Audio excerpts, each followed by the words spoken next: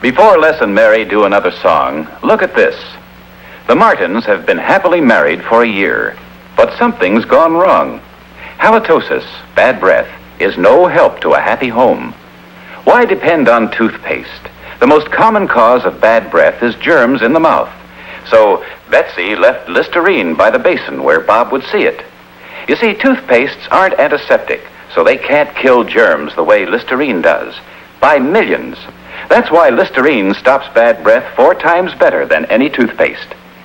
Nothing wrong with the Martins' marriage that Listerine couldn't fix.